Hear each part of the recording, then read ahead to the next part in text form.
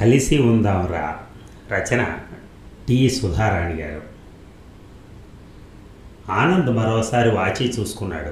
అసహనంగా సీట్లో అటు ఇటు కదిలాడు. బలంగా కారు హారం మోగించాడు. ముందున్న వాహనాలు కదలటం లేదు. ట్రాఫిక్ జామ్ అయిపోయింది. యథారాపంగా ఎడమవైపుకు చూశాడు. అమీర్పేట బస్ స్టాప్లో జనం నలుగురు ఐదుగురు ఉన్నారు. మధ్యలో ఎర్రచీర కట్టుకున్నామని చూడగానే గుండె వేగంగా కొట్టుకోవటం మొదలైంది. ఆమె కళ్యాణిలాగా ఉంది కదూ? కాదు కళ్యాణియే.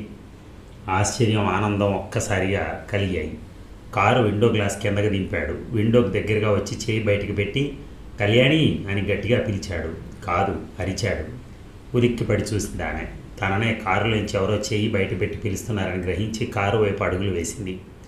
పరికించి చూసి ఆనంద్? అంది ఆశ్చర్యపోతూ. ఎన్నాళ్ళకి ఎన్నాళ్ళకి అన్నాడు ఆనంద్. ఏమిటి ఇక్కడ సడన్గా? అంది కళ్యాణి. కారు డోర్ తీశాడు. కమాన్ గెటిన్ నిన్ను డ్రాప్ చేస్తాను అన్నాడు.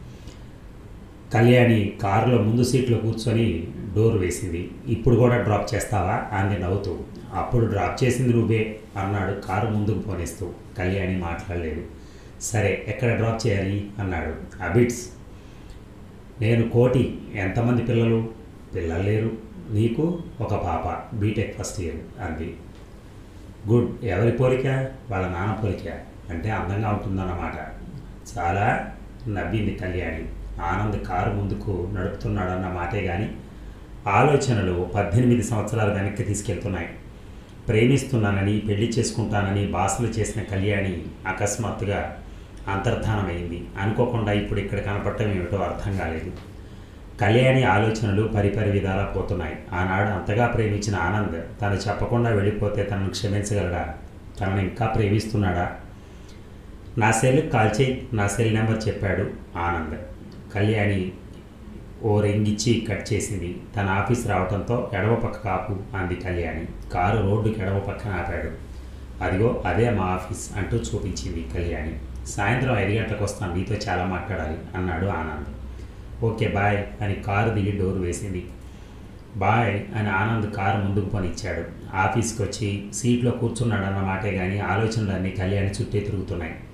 అన్ని మనస్కంగా పనిచేస్తూ సాయంత్రం ఎప్పుడవుతుందా ఎదురు చూస్తూనే ఉన్నాడు. టైం అవ్వగానే కళ్యాణికి రింగ్ చేశాడు. అవతల కళ్యాణి ఫోన్ ఎత్తగానే కళ్యాణి నేను బయలుదేరుతున్నాను. నువ్వు ఆఫీస్ ఎదురుగా ఉన్న బస్ స్టాప్లో ఉండు అన్నాడు. ఓకే ఓకే అంది కళ్యాణి. పది నిమిషాల్లో అబిడ్స్లో కళ్యాణిని కారెక్కించుకుని ఎక్కడికి వెళ్దాం అన్నాడు. నీ ఇష్టం అంది కళ్యాణి. నెక్లెస్ రోడ్లో ఒక రెస్టారెంట్ ముందు ఆపారు.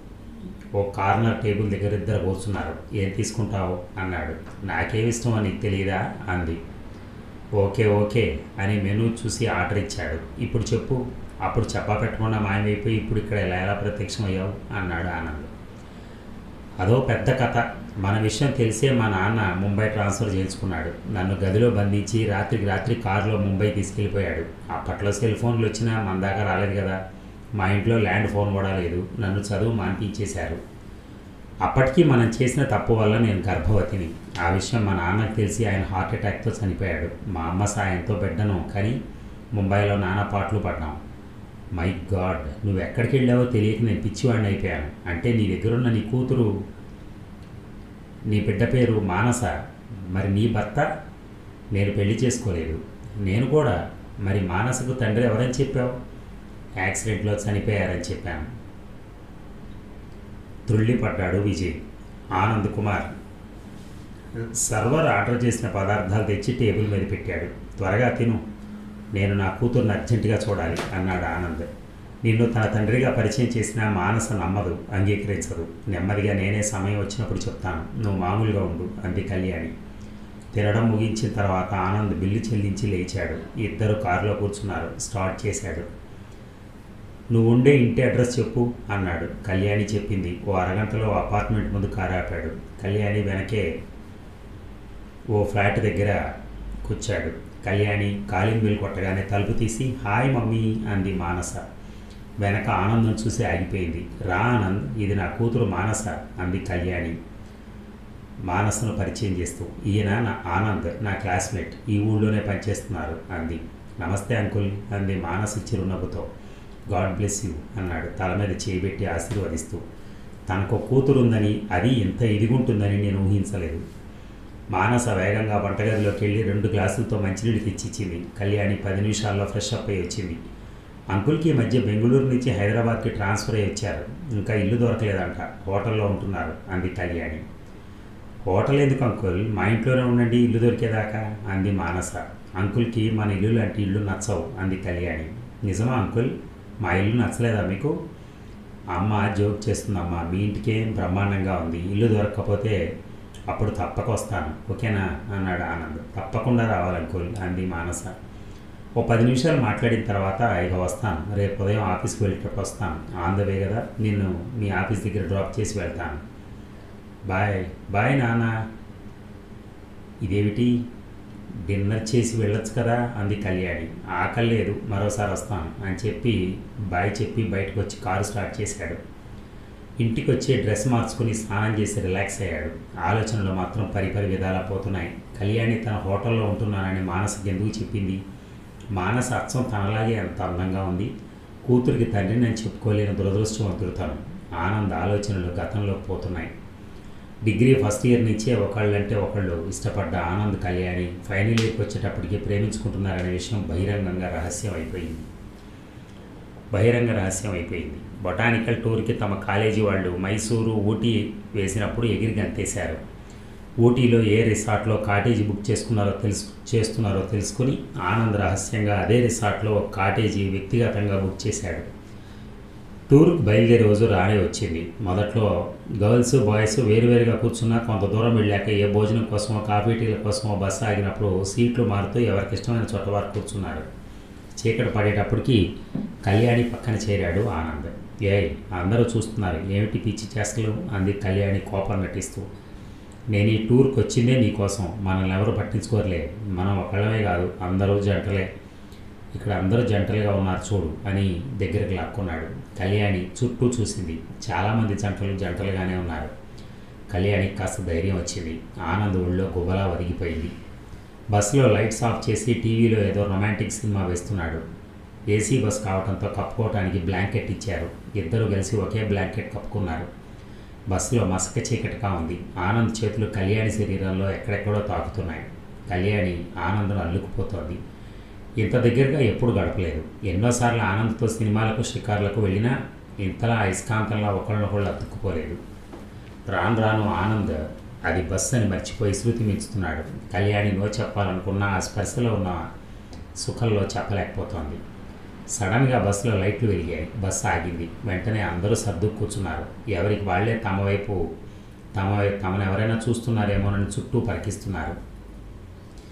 దారిలో రైల్వే గేట్ వేశాడు. ఏదో ట్రైన్ వెళ్ళిపోయింది. కింద దిగిన డ్రైవర్ మళ్ళీ బస్ ఎక్కి స్టార్ట్ చేశాడు. లైట్స్ తీసేశాడు. టీవీలో సినిమాలో ఏదో డ్యూయట్ వస్తోంది. మళ్ళీ ఎవరి పనిలో వాళ్ళు బిజీగా ఉన్నారు. ఆ రాత్రి అందరికీ జాగరణే మర్నాడు పది గంటలకి మైసూరు చేరారు. అందరూ హోటల్లో దిగి కాలకృత్యాలు తీర్చుకుని బ్రేక్ఫాస్ట్ చేశారు. మళ్ళీ అందరూ బస్ ఎక్కారు. Mysore palace Jaganmohan palace Lalitha Mahal Saint Philomena's Church Chamundeshwari దేవిని ఆలయం చూసుకుని సాయంత్రం ఆరు గంటలకి బృందావన్ గార్డెన్స్ చేరుకున్నారు. రంగురంగుల దీపాల వెలుగులో బృందావన్ గార్డెన్స్లో అందరూ జంట పక్షులే. ఆ మర్నాడు ఉదయాన్నే బయలుదేరి ఊటీలో రిసార్ట్స్కి మధ్యాహ్నం చేరుకున్నారు. ప్రతి కాటేజీలో ఇద్దరికి చొప్పున అలాట్ చేశారు. లంచ్ ముగించి మళ్ళీ అందరూ సైట్ సీయింగ్కి బయలుదేరారు.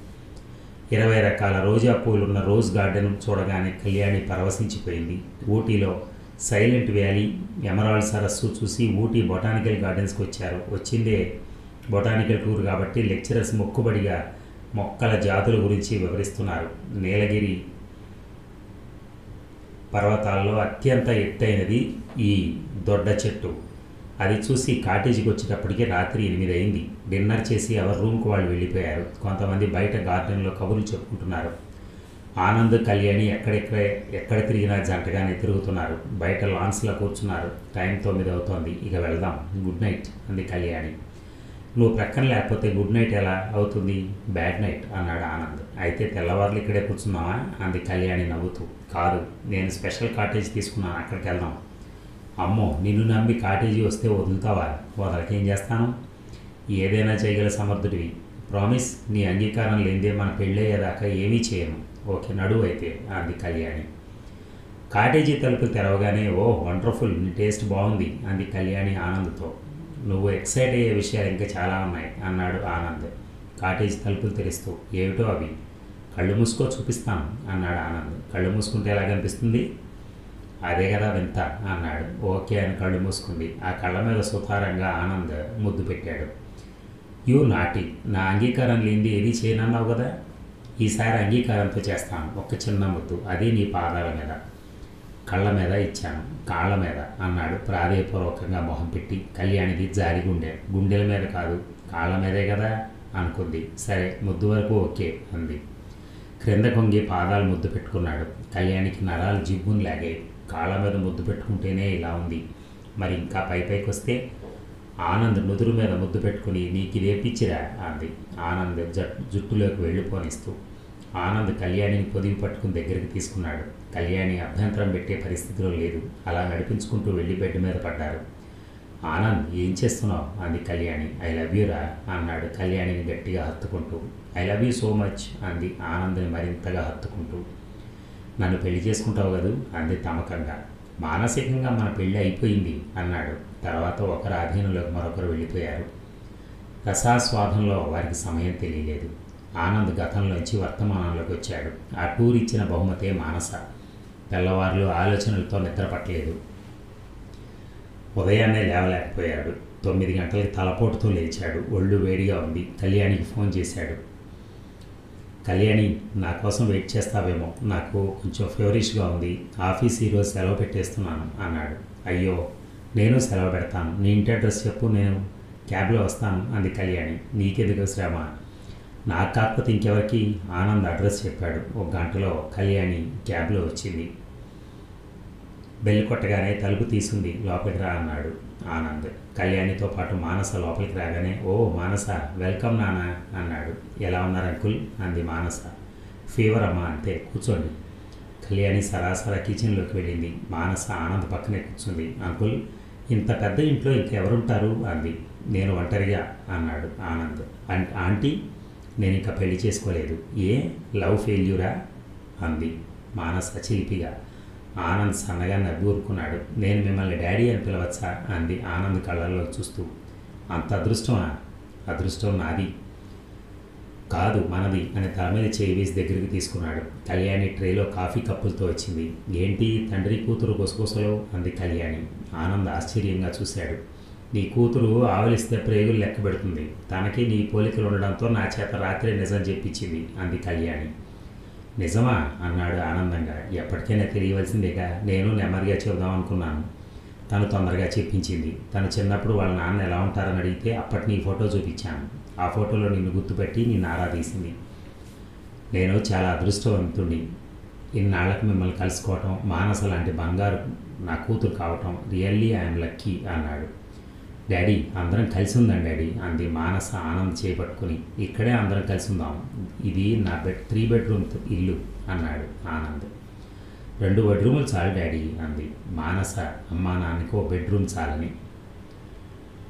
ధన్యవాదాలు. Thank you very much.